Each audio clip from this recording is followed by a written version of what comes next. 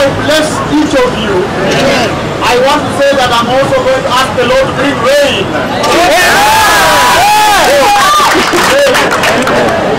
that we may have some food and crops for all people.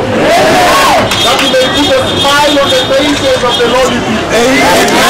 I'm also going to ask the Lord to give us very peaceful elections. And then I'm going to ask the Lord to do a lot of transformative work in your life. Ageuze mambo, akubariki, akuinue, atoe aibu kabisa, sahihi kama zitafuata. Hallelujah. Let me pray now. Amen. Father, in the mighty name of Jesus, these are your sons and daughters. And today I decree that, Lord, you'll visit each one of these people in their situations.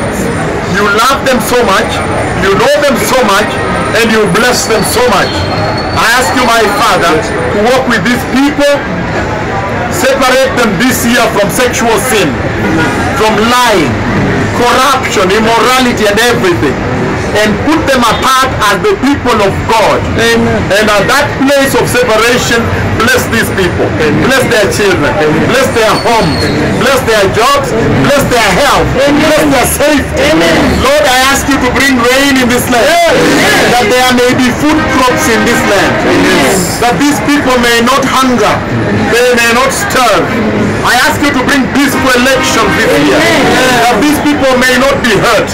That they may stay safe. That nobody may die. That no one may, be, may bleed.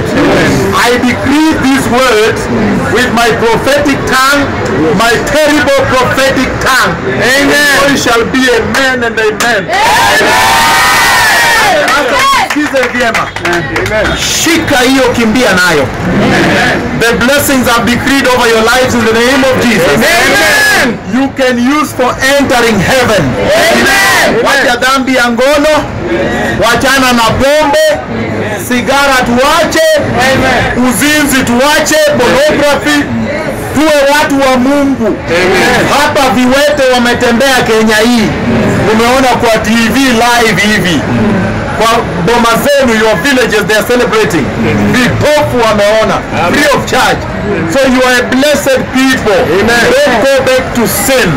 I have blessed you, my daughters. I have blessed you, my sons. This year will be different for you. So precious people, I have blessed you and your country. Don't keep your blessings. Shalom, shalom. Amen.